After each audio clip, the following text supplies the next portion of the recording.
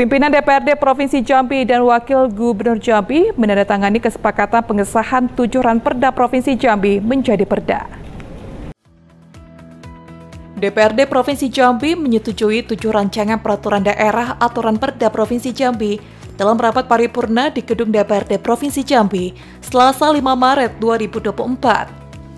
Adapun ketujuh ranperda tersebut, yakni ranperda tentang penambahan penyertaan modal pemerintah Provinsi Jambi dalam bentuk barang milik daerah pada PT Bank Pembangunan Daerah Jambi atau Perseroda, ranperda tentang pencamputan beberapa peraturan daerah Provinsi Jambi, Ranperda tentang perubahan kedua atas Perda Provinsi Jambi nomor 8 tahun 2016 tentang pembentukan dan susunan perangkat daerah Provinsi Jambi.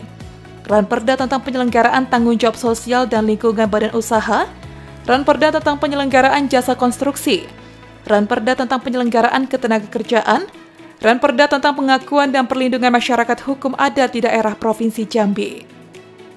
Atas pengesahan tujuh ranperda tersebut, dilakukan penandatanganan persetujuan bersama antara Gubernur Jambi yang diwakili oleh Wakil Gubernur Jambi Abdullah Sadi dengan pimpinan DPRD Provinsi Jambi. Dalam kesempatan tersebut, Ketua DPRD Provinsi Jambi Edi Purwanto berharap Ranperda yang telah dibahas cukup lama, yang kemudian dilakukan pembahasan dan kini telah disetujui menjadi perda untuk segera ditindaklanjuti dengan peraturan gubernur. Ya, kita sudah menyepakati tadi menyetujui uh, pengesahan tujuh produk yang telah dibahas uh, beberapa waktu lalu. Itulah produk kita, uh, mungkin produk terakhir periodisasi DPRD ini.